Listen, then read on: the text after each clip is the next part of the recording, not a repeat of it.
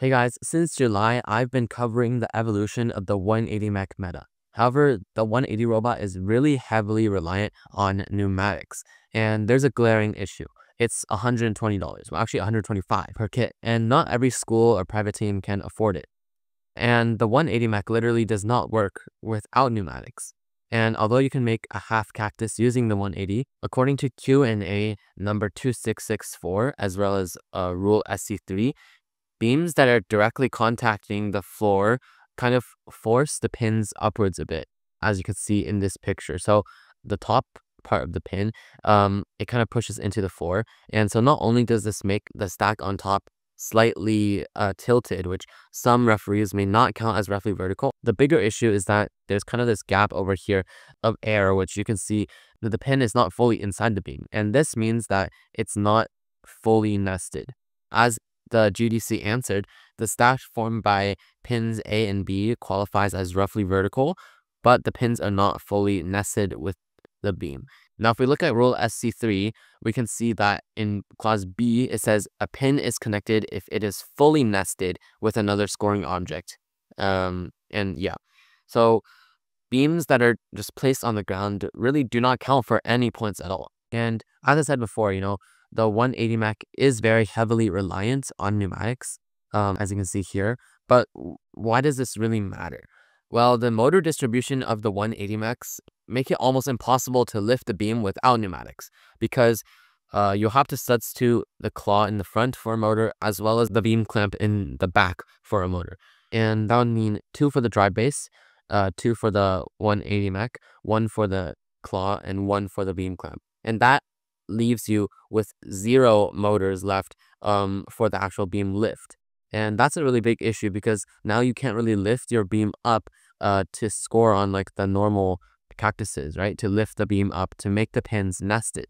And this kind of just adds to the fact that conveyors and revolvers that really don't require pneumatics would be much better for a lot of teams. But that's kind of trapping teams um, with the decision of having to go with a specific design of a robot while stopping them from trying to build like a 180 bot in this example, which is a really popular design. And also, we've already seen that conveyors and revolvers perform much worse in competitions with factors like alliance luck and the placement of pins. So there hasn't really been a good way to do 180 with motors until now. So if you try to make a 180 claw with gears like team 31337W did from all the way back in July, as you can see, um, this is a, a motorized claw and also a motorized clamp in the back.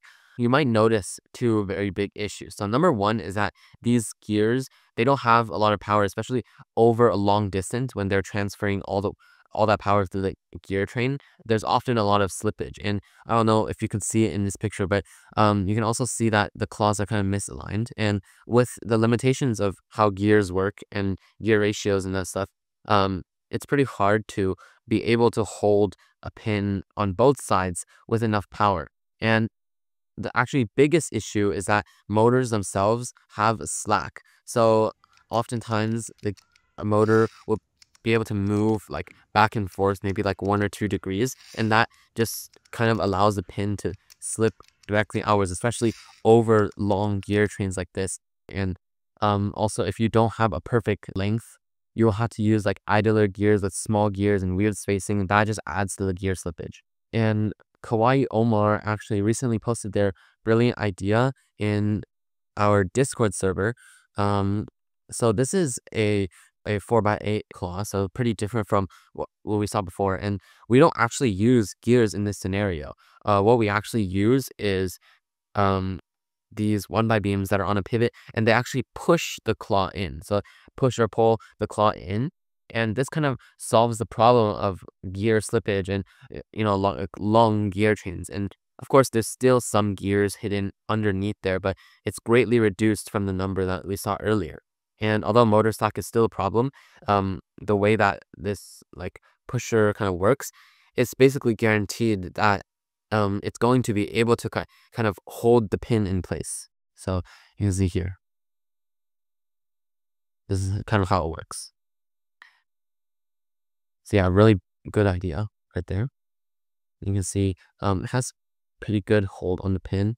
Um, of course, you can add some extra like rubber bands and stuff just to make sure that the pin doesn't really move around. And also you can kind of swap this motor out, um, kind of put it inside here and use bevel gears to power these uh, two gears over here instead of putting your motor in this giant like ugly protruding type of placement.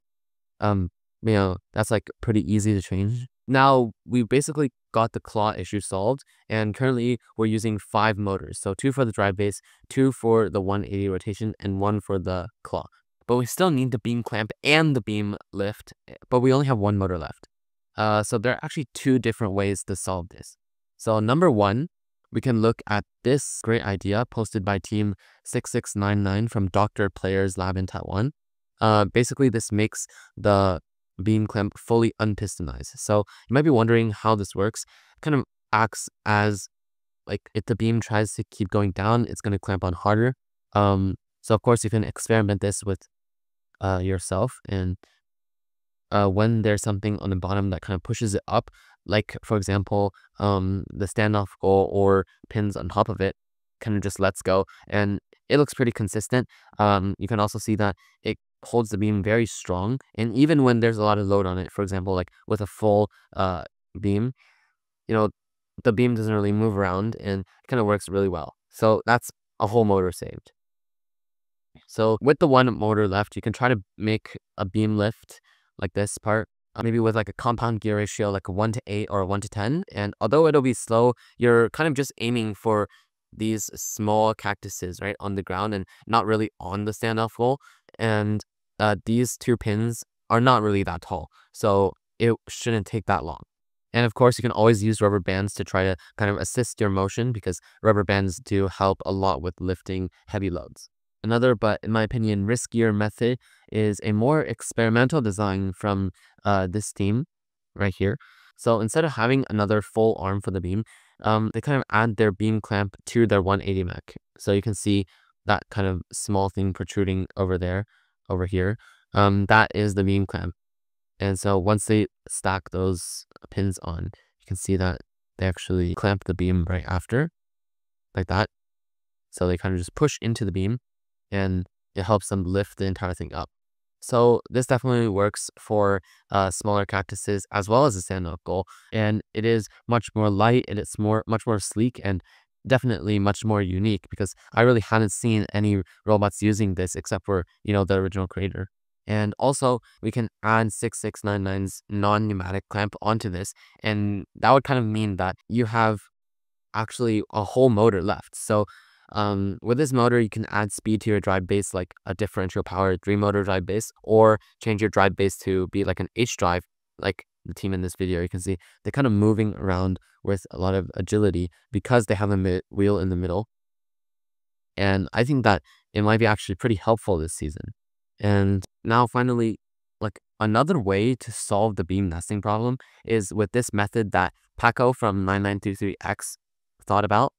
Um, so if we skip forward a bit, you can see uh, kind of a physical demonstration of the pins not becoming roughly vertical and um, like not being nested. You can see a lot of open space. Um, but with a bit of momentum and speed, you can have kind of have the beam ride up onto the loader, um, the loader station from the side. And now we can see that the stacks are perfectly vertical and also nested into the ground. And, and if you don't believe me, here's a photo from CAD that kind of perfectly shows um, that this one beam right down here is perfect height for these pins to drop down because they're like barely touching, almost touching the field. And so I think this should be counted uh, because the pins are of course roughly vertical and also they're fully nested. However, obviously having more stacks like a 91 point stack is always better. So I do recommend trying the non-pneumatic beam lift method I talked about earlier. Now, a lot of people have asked me if getting pneumatics is worth it. And in my opinion, that kit is definitely worth uh, the 120 $125 uh, since you got four long pistons, uh, four long pistons and four short pistons, which is more than enough for multiple different robots. And pneumatics really has a lot of use cases, especially this year because there's a lot of opening, closing, clamping, etc. And not only that, it also makes your robot much faster and overall more powerful. And pneumatics can also be used for small additional mechanisms that your th team thinks of. For example, like a preload mech or, you know, something like that, or a starting pin mechanism. Um, however, I do understand that some people won't be able to get it for many different reasons, and that's why we made this video. And if you have any comments or any thoughts on improvements, make sure you drop your comment down below. And again, if you're a new or veteran VexIQ team looking for our help, you can sign up for our free online coaching program through the second link in the description, uh, where you can get direct help from some of the world's best competitors one-on-one. -on -one. And uh, we do have a lot of signups right now. So we're kind of going through um, and trying to find the teams that will work best with us, you know, teams in our time zone, teams that are active online, and also teams willing to put our name in your team name. And of course, as the season progresses and more ideas come out, we will review them and explain them. And as always, credit the original creator. Uh, so you can see all of our credits down in the description. But that's going to be all for today. So see you guys next time.